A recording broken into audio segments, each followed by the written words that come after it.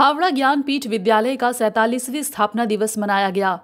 सबसे पहले स्कूल के प्रधानाचार्य लालजी शुक्ला ने मंत्रोच्चारण के साथ गणेश जी की पूजा अर्चना की। तत्पश्चात उन्होंने बताया कि सैतालीस वर्षों से हावड़ा ज्ञानपीठ विद्यालय गरीब बच्चों को शिक्षा देकर बच्चों को समाज के मुख्य धारा में लाने का कार्य कर रही है।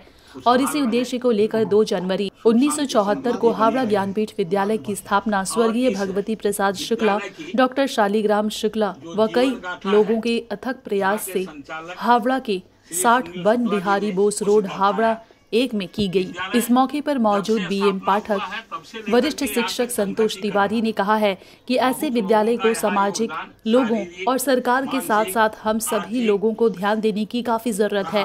तो वहीं बी के तिवारी, सुजाता पांडे, राजकुमार गुप्ता समाज सेवी राकेश गुप्ता, रविंद्र ठाकुर और कई गणमान्य लोग उपस्थित थे। छात्रों में फल और शिक्षण सामग्री दी गई।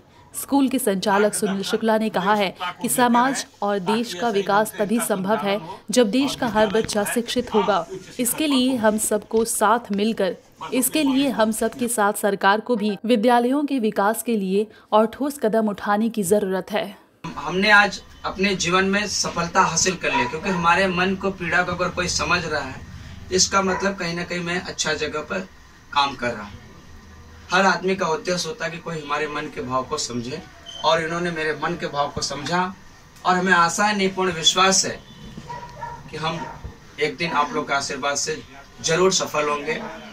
और दो शब्द में और बोलूँगा, क्योंकि हमारे जो दादाजी हैं जैसे बड़े पापा ने अभी बताया कि जब वो जाते थे तो तीस पैंतीस आदमी उनको छोड़ने के लिए आते थे। तो क्योंकि वो समाज से जुड़े थे, सबको अपना समझते थे। और मैंने एक बार उनसे ऐसे ही अचानक में बैठा था, उनसे बोला कि आप स्कूल क्यों बनवाए? इससे अच्छा कोई छोटा सा दुकान ही किए होते तो उससे कम से कम लोग नहीं चलाते तो भाड़ा घटिया आता। हम लोग का भी जीवन आपन होता। उन्होंने बोला कि एक विद्यालय का चलना मतलब एक आपको समाज का चलना होगा। विद्यालय का चलने का